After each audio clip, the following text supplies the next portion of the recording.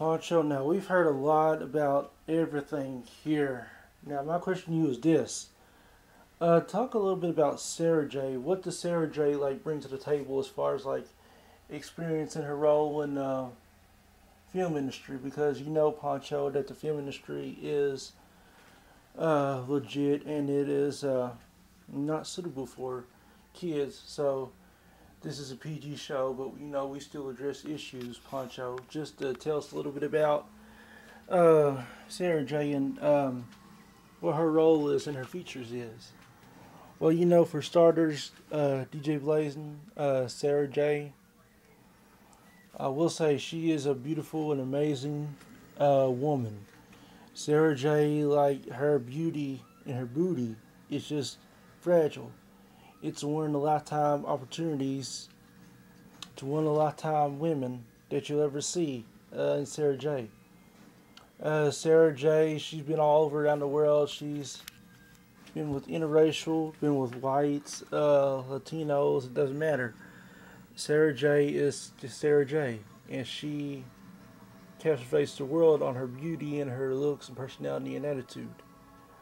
Uh, but Sara Jay, you know, at times uh, she is she's envy, and she knows what she wants, and that's the good thing about Sara Jay. She knows how to do things she knows how to entertain and she knows how to get what she wants when it comes to business. And you know, I mean, Sara Jay is one of those uh, few women that you'll say, "Wow, I'd love to be a Sara Jay." And honestly, DJ Blazin, I would love to be a Sara Jay because Sara Jay just has it all. Sara Jay is just wow, great looking, and Sara Jay is a woman that you definitely want to be with and hopefully one day I get to meet Sara Jay. Hopefully one day me and her get to hang out. Uh, I've talked to her online just like once or twice, and her personality and attitude is just uh, fabulous. It's just remarkable. And she's one of the few women that you want to hang out and be with. And like I said, her booty, oh my God.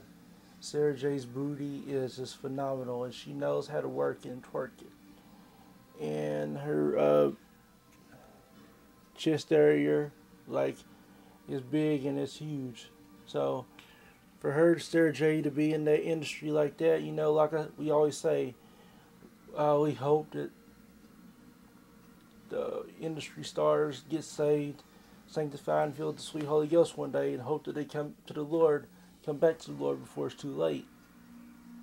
But you know, Sara Jay is one of those uh, women that you just got to be with. And I love Sara Jay. And Sara Jay, shout outs to you wherever you're at.